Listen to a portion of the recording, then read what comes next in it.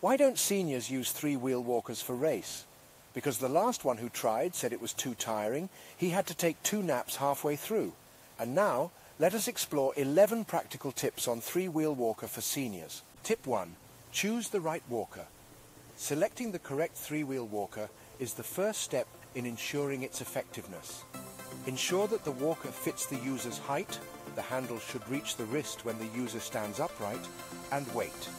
It should have an adjustable height, and it should be lightweight for easy navigation, but sturdy enough to offer support and balance. Tip 2. Check the brakes.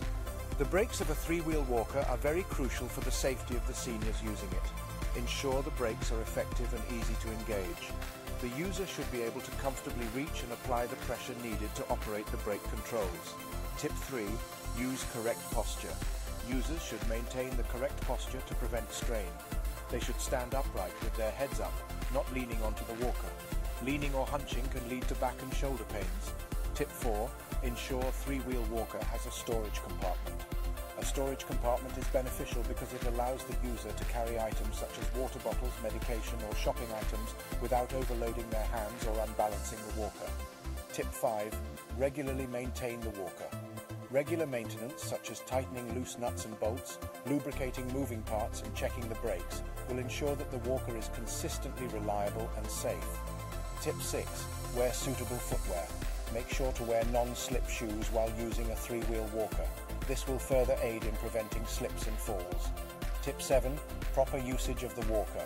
The user should move the walker about one step distance ahead, then step into it. This prevents the person from having to overreach or lose balance. Tip 8. Ensure the walker has padded handles. Since the handles will be in constant contact with the user's hands, make sure they are padded or fitted with moldable hand grips to avoid blisters or discomfort. Tip 9. Take regular breaks.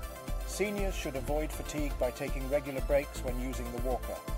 Overexertion can lead to breathlessness and loss of balance. Tip 10. Install a walker tray. If the walker doesn't come with one, installing a walker tray can be beneficial for transporting meals, books, or any other items from one place to another safely. Tip 11. Use both hands. Always use both hands to grip the handles. Using only one hand can cause the walker to tilt and lose balance. Also, it distributes the body's weight evenly across the device, reducing the risk of strain or injury